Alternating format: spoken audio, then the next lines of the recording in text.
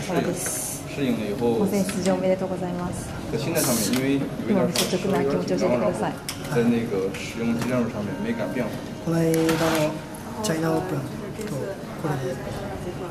決勝トーナメントに行けてとても嬉しいです对今は調子が上がってきてるんですが、ちょっと勝てない時期もあったりして苦しい時期もあったと思うんですけど、今調子はすごく上がってきてるんじゃないですか？そうですここ能最近結感気持ちの面で放結構安定してきて、まあ、その中で試合の中で結構調整とかもうまくできて戦，術の変更とかもす自己把ごいうまく这个当成一种动力。所以说第でまあ、それによって自分の体もすごい動いてきたので、まあ、とても最近も微的这种担子和充実したプレー、ができてると思います苦しい時期を乗り越えたからこそ今があるみたいな感じです。比赛能力，自己都不如这个啊是他们参加比赛多的那那些まあ、人。なかなか目立った成績っていうのはすごい但还是还是虽然说输了吧，但是我最想感谢的还是要感谢これをきっかけにもっと上に行けるようになれ。ればいいなと思いますあの学生時代、まあ、青森に過ごされて、まあ、あの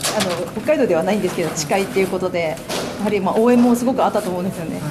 どうですかまあ、そうですね、ジャパンオープンで日本開催ということですごいファンの方々の声援もあって背中を押されてすごい自分のプレーも